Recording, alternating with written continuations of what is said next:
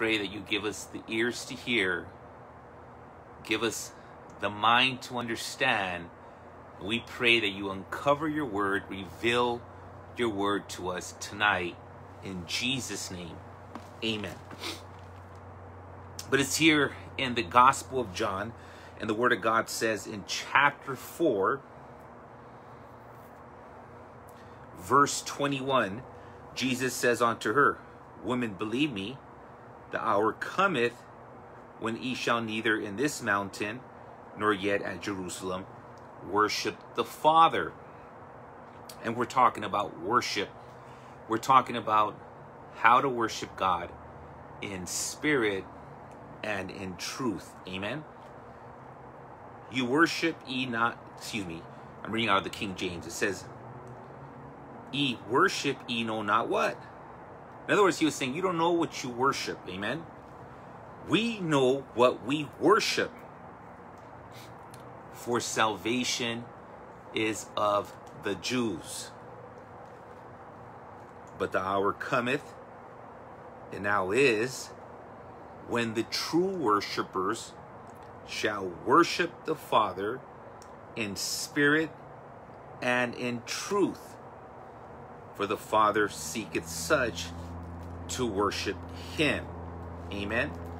God is a spirit, and they that worship him in spirit, excuse me, God is a spirit, and they that worship him must worship him in spirit and truth. Amen.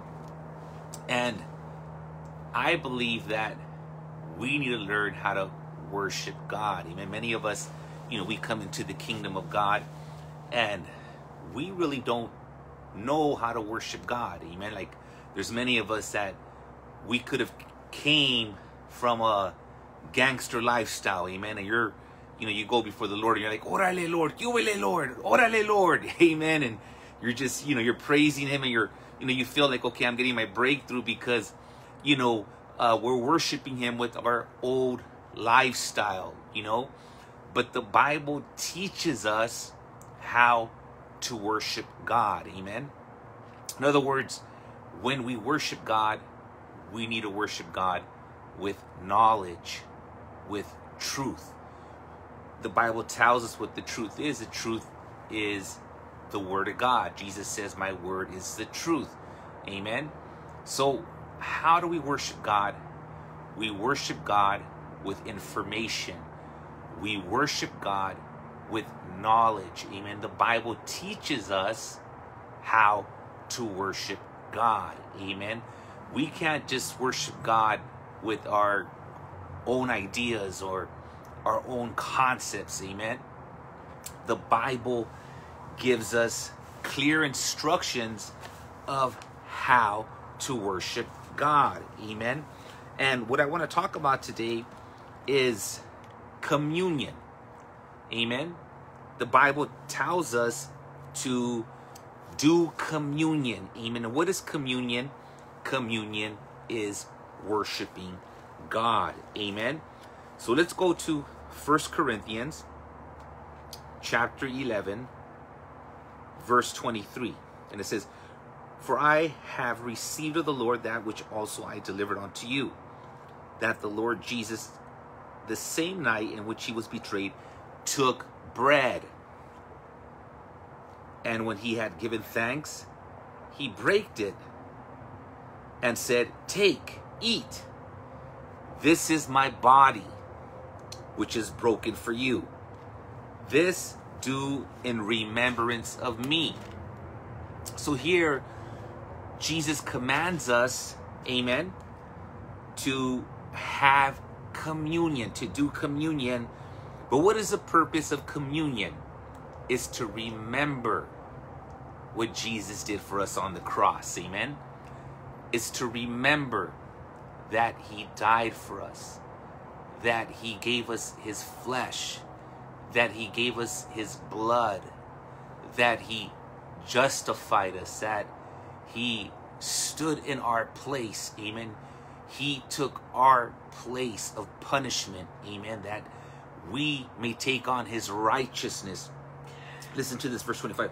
After the same manner, also he took the cup, and when he had supped, saying, This cup is the New Testament in my blood. This do ye as often as you drink it in remembrance of me. So, what's the purpose of communion? Is that we worship the Lord, remembering what He's done for us. Amen. Matter of fact, when uh, He changed the covenant, the new covenant, it was during it was during that time of the Passover.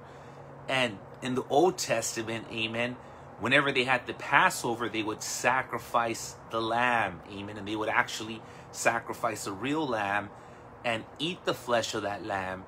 And it was symbolic to what Jesus was going to do for his people, for us, amen.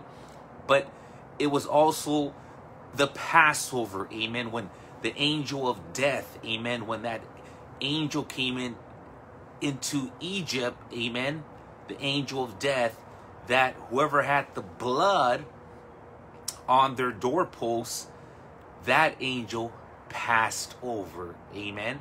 See, I want to encourage you tonight to let you know that Jesus Christ is the Passover, amen. And if you have the Lord in your home, in your boat, in your business, in your life, no matter what's happening in this world, amen, it needs to pass over you, amen. See, communion is so powerful because God promises to protect you, amen. When you read John, the Gospel of John, chapter 6, verse 48 to verse 58, it talks about how He is the bread of life, amen. And through us taking communion, through us eating his flesh and drinking his blood. And when he was talking, he was talking about the spirit. Amen. He says, The flesh profited nothing, but I'm talking about the things of the spirit. Amen. And what is his flesh? It's his word, it's the word of God. When we eat the word of God, when we receive the word of God and we receive Jesus, amen, and we receive what he's done for us on the cross. Amen. And when we believe, he promises us eternal life. Amen. But what are what are we to do? How are we to worship God in communion? It's to remember that he died for us. Amen. That Jesus paid the price. Amen.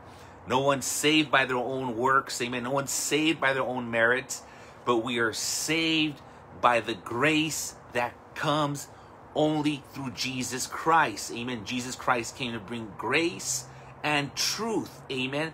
So that's what communion is. But I want to talk about tithing. Amen. See, communion was something that the Lord commanded us to do. Amen. And it's an act of worship. And communion is that we remember what He did for us. But listen to this tithing, when we tithe, we actually acknowledge that Jesus lives on. Amen. That he lives on as our high priest. Amen.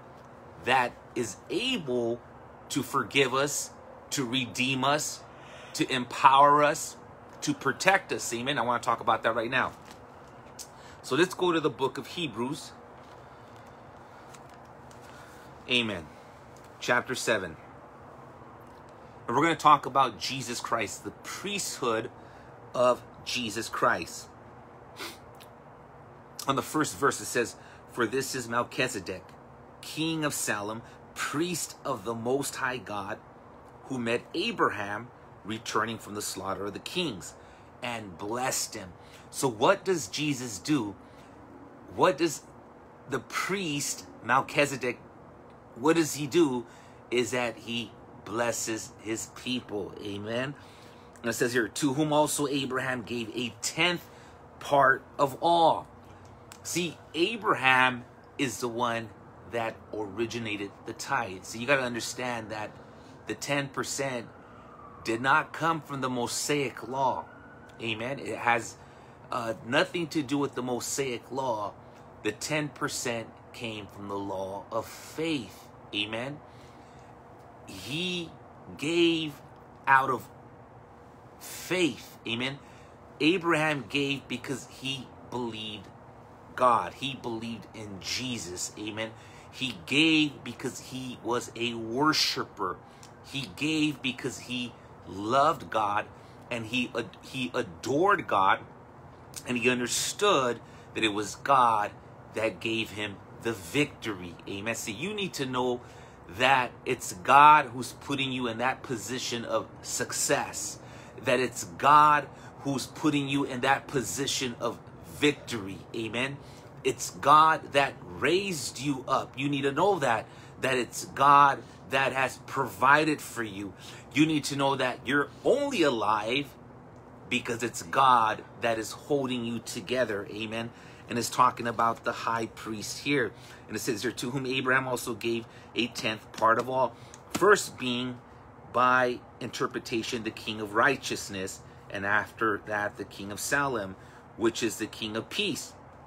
Without father, without mother, without descent, having neither beginning of days nor end of life, but made like the Son of God, abideth a priest continually. See, it's talking about Jesus that here, this priest, they couldn't trace him. Amen. They couldn't trace his genealogy. They didn't know where he came from. Amen. Uh, they couldn't figure out, okay, uh, who his parents were. But this was the Son of God. And that's like that's just like our Lord, amen. Whenever Jesus wants to show up, he will show up, amen. Uh, the Bible says in the book of Psalms that his way is in the waves, amen. It was Jesus that when the disciples and, and you know the disciples, the apostles were in a storm, amen, that he showed up, amen. In the storm, he walked on the water, amen. See, I want to eh, encourage you tonight to let you know that, you know, no matter what you're going through, no matter where you're at, that Jesus will show up. Amen. Uh, you don't need a sign from heaven. Amen. Uh, you know, you don't need a phone call. You don't need someone to warn you. Whenever God shows up, He's just gonna show up. Amen.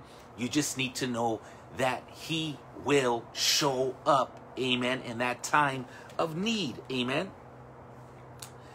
And listen to this. I'm going to jump right into the scripture I want to talk about today. We're talking about how to worship God with knowledge, amen. How to worship God in spirit and truth, amen. And it says here in Hebrews chapter 7, verse 8, and here men that die receive tithes this, this is the purpose. I want you to understand this. And here men that die receive tithes, but there he receiveth them, of whom it is a witness that he liveth.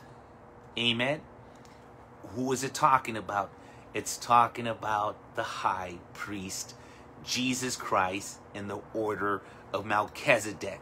Amen. Whenever we worship God, with our tithe and our offering, we are going back to that time where Abraham gave his 10% to Melchizedek, the high priest. Amen. That's where this comes from. Amen. And when you give your tithe, what you're saying is, God, I'm worshiping you with this type of faith that I believe that you live on as a high priest in the order of Melchizedek. Amen. See, you need to know that it's the high priest that gives you atonement. What is atonement? Is that he forgives you. He gives you redemption. Amen. And here when you study the word of God, it was the high priest that blessed that blessed Abraham. Mm, I'm getting excited about this. But you know what? God just gave this to me right now. He didn't just bless him, listen to this. He didn't just bless him, but he gave him communion. Amen. When J- Jesus came out as a priest, he came out with the bread and the wine. Amen. And did you know that the again the bread and the wine represents the body of Jesus, the blood of Jesus, but it also represents the promise of eternal life. Amen. What he was telling Abraham is that I'm going to bless you, but I'm going to bless you with life. Amen. Jesus came to give life and life in abundance. That's why we don't need to operate in fear. We don't need to fear what men is going to do or how this world's going to turn out. We just need to know that God is with us and that we have eternal life, but not just eternal life. See, because you need to know that your, your eternal life starts here on earth. Amen. And God has a purpose for you here on earth. Amen. He has a purpose for you to be a voice. He has a purpose for you to preach. Amen. He has a purpose for you to love people, to bless people, to forgive people. Amen. God has a purpose for your life, but we need to learn how to worship God in spirit and with knowledge. Amen. He has taught us how to worship Him. So when you give, you need to know that it's an act of faith, and the purpose why we're giving is that every time we we tithe, we are declaring that Jesus still lives on in the order of Melchizedek as the high priest. Amen. And if he still lives, you need to know that he still has the power to bless you. Amen. So you need to know this is that God is not a man that he needs to lie. No matter what's going on in the world, if we're obedient to God's word, God will bless his word. God will keep his promises. I don't care if it's, you know, right now we're in the time of tribulation, if we're entering in the apocalypse, amen. Is is is no matter what's going on in the world, if you obey God's scripture and he gives you a promise with that scripture, he will make that promise come to pass. Amen. So this is an awesome thing about God is that when we worship him, amen, he promises blessing. Amen. When he was talking about communion, amen, when we take communion, he promises us eternal life. Amen. That's that is a gift from God. Amen. But when you pay your tithe and your offering, amen, he promises you increase. Amen. As a matter of fact, let's go to the word of God. I'm, I'm almost done. It's here in um, Malachi. Amen.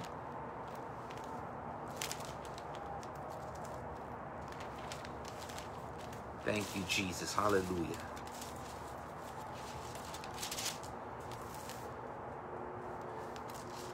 Malachi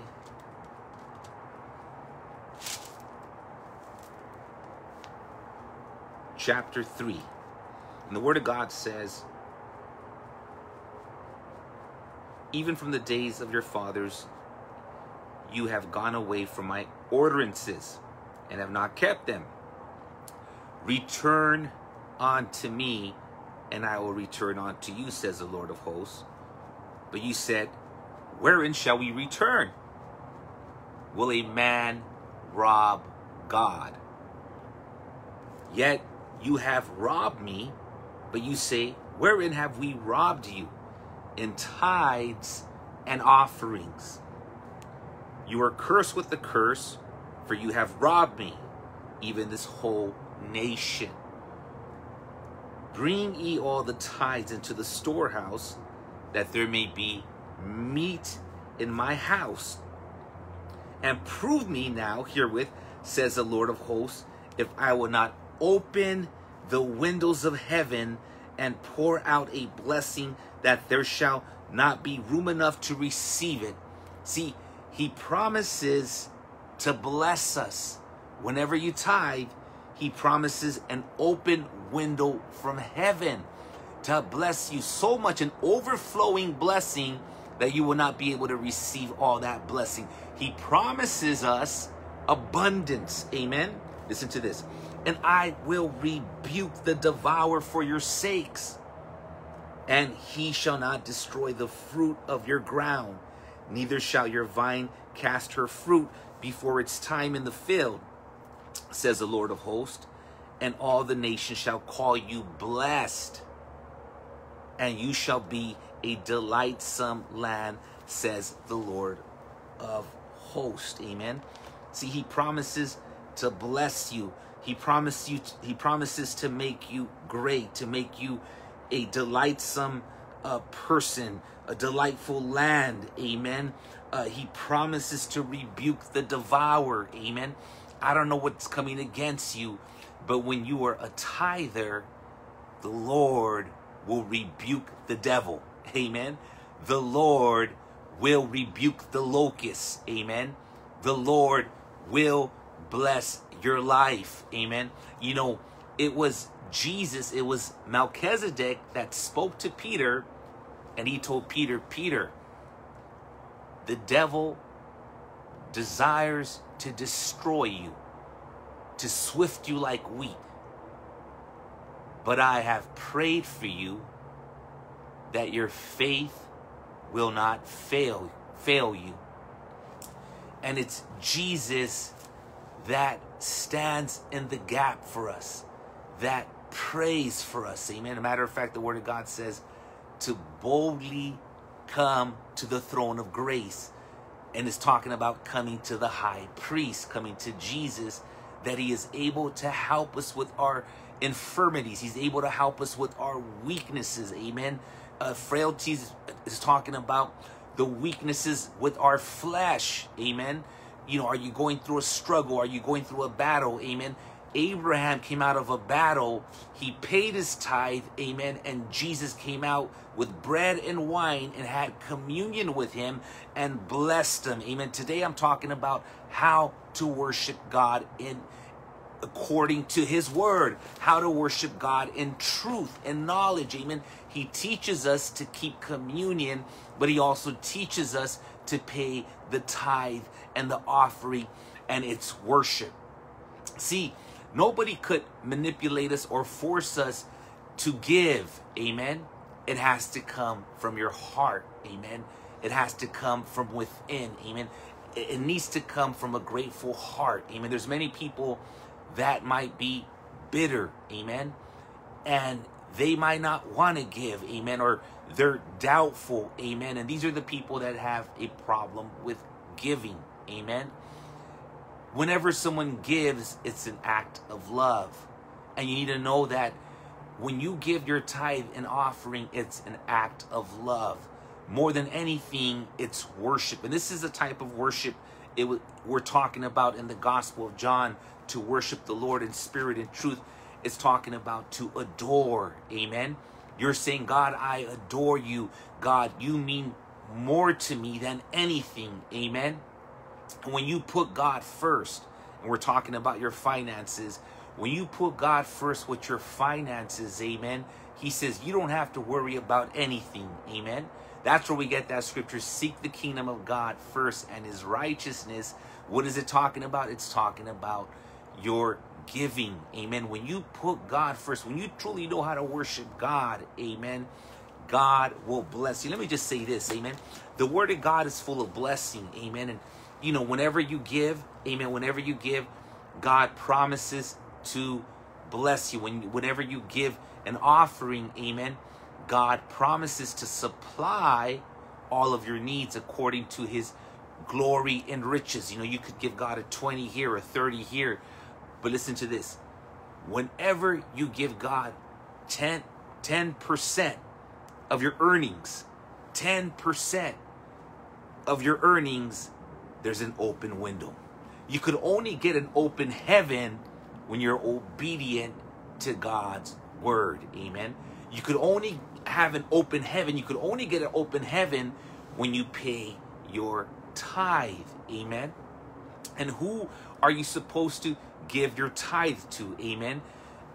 You're supposed to give your tithe to your local church. Amen.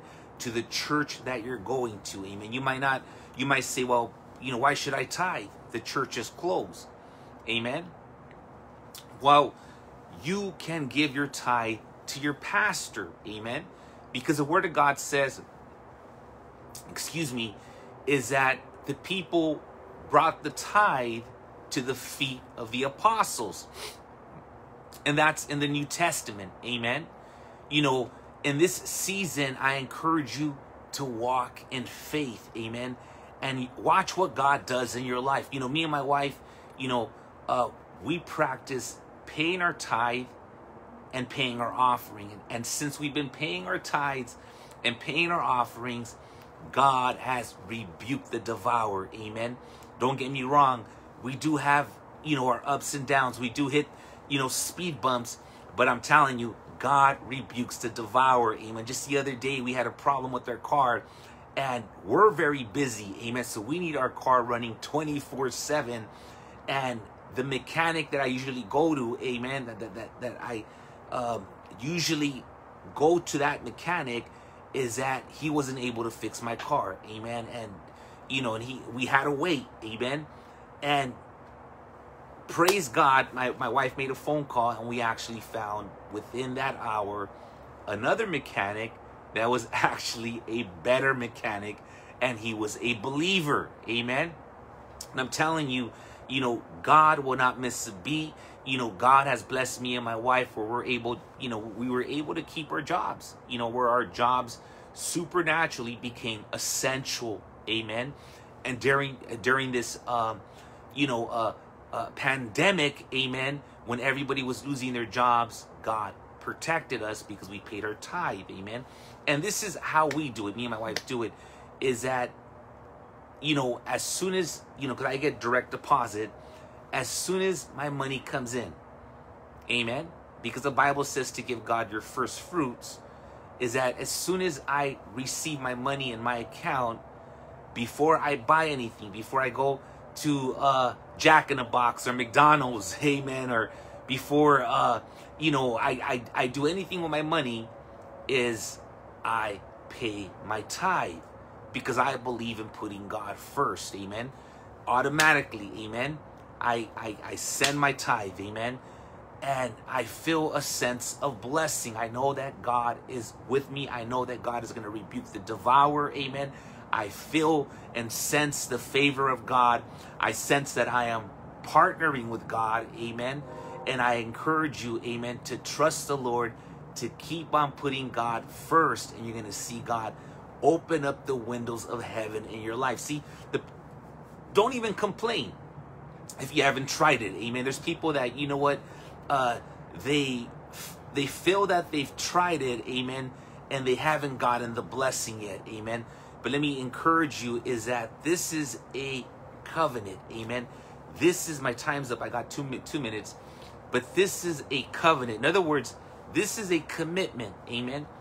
And I believe that if you make a commitment to worship God in spirit, but not just in spirit, but with knowledge, with truth. What is the truth? It's the Word of God, and the Word of God has instructions.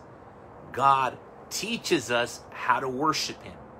Honestly, I, I really believe that the problem that our nation is going through, amen, and I'm talking about um, the famine, I'm talking about people that are losing their jobs, is that they're not paying their tithes. Amen. They're not giving to God. I believe that if you put God first with your finances and you start tithing, amen. If you don't know where to tithe, pray and ask God to show you where to give your tithe. You know, be led by the Spirit. Amen.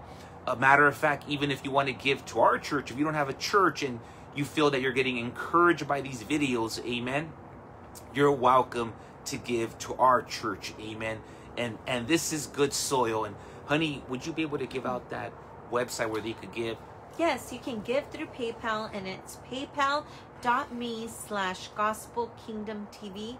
Again, you could give through PayPal and our PayPal address is PayPal, that's P A Y P A L dot M E slash G O S P E L K I N G D O M T V.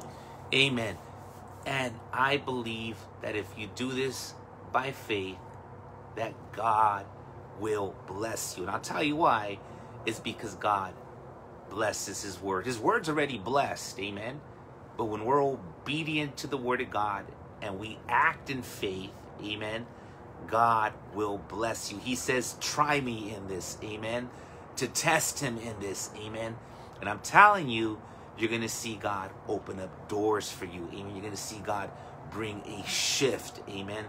You know, we serve a good, good God, amen. And I believe that God is calling you, He's calling us to worship Him in spirit and in truth. Amen. Let's remember this is when we have communion. Amen. When we take the bread and the wine, when we receive and we eat the flesh of Jesus and we drink the blood of Jesus, symbolic, amen, to the bread and the wine is that we remember him. It's an act of remembering what he did for us. But when you pay your tithe, it's an act of saying, we know that Jesus lives on in the order of Melchizedek as the high priest. Amen. And it's Jesus that has the power to bless your life. Matter of fact, let me just say this. When you open up the book of Hebrews, it talks about how powerful Jesus is, and it says that he's the one that created the world. Amen. If you want to have more knowledge of that, go to the book of Colossians. Amen. And it talks about how he created the world. I just want to say this is that how he holds everything together. Did you know that even scientists say that uh, as you know, as humans, they're made of atoms. I mean, they're made of these tiny little molecules that are held together. They don't know how it's held together, but the Bible tells us here in Hebrews that it's Jesus that is holding the universe together, that's holding us together. It's the high priest that is holding you together. Let me just say this. See, you can't die because it's Jesus that is holding you together. Amen. Uh, you, you're not going to lose your mind. You're not going to fall apart because it's Jesus that is holding you together. Be encouraged. It's Jesus that got you. Amen. Father, I just pray that you bless every person that is watching this video, that you empower them, that you encourage them, and that you quicken us that we could worship you in spirit and truth. In Jesus' name, amen.